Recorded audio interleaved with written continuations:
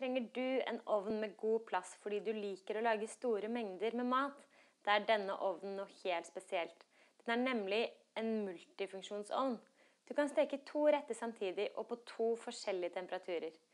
Den er nemlig utstyrt med to vifter som først og fremst sikrer jevn steking, uten at duftene blandes med hverandre. Skilleveggen gir deg mulighet til å steke i hele tre forskjellige ovnsrom.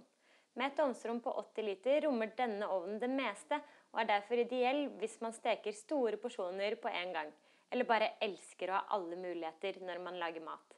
Når du får ovnen hjem, vil du raskt oppdage at den har et vell av funksjoner, som alle bidrar til å lette både matlagingen og hverdagen. Det blir ikke vanskelig å finne nøyaktig den funksjonen som passer til dagens rett. Den har bl.a. grill, lavgrill, varmholdning og opptining. Den har faktisk også pyrolyse og økopyrolyse. Sjefasist får du også. Det er en innebygd kokebok som er full av internasjonale retter. Bare følg instruksjonene på panelet, sett maten i ovnen og trykk på start. Til slutt ender du opp med et fantastisk resultat. I tillegg leveres ovnen med teleskoputtrekk på to nivåer, så du lett kan sette plater inn i ovnen og ta dem ut igjen. Du trenger ikke være redd for at de tipper slik at du brenner deg. Teleskopettrekket glir nemlig på en skinne som gir platen god stabilitet. Som en bonus har døren softclose, som gir en myk lukking.